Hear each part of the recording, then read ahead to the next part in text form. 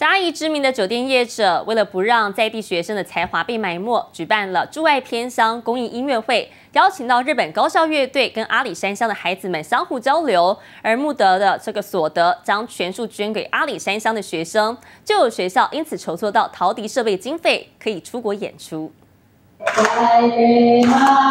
演奏部落歌谣、吹奏传统乐曲，阿里山乡的孩子们展现过人音乐才华。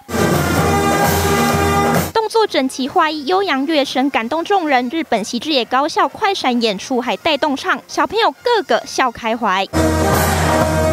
知名酒店有感于阿里山乡资源有限，举办了偏乡公益音乐会，与嘉义市国际管乐节合作，邀请日本学校乐队一同演出。期间举办了多场义卖活动，销售所得将全数捐赠给偏乡小学的学生们，帮助阿里山乡来吉国小成功募集陶笛经费，顺利前往奥地利参加国际陶笛音乐节。号召之下，很快的我们就把他们所需要经费能够能够筹齐，让我们这些。充满音乐天赋的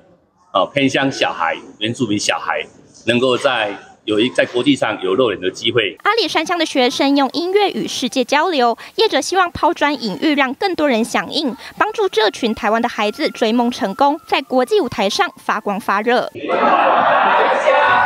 记者蔡崇吴嘉义报道。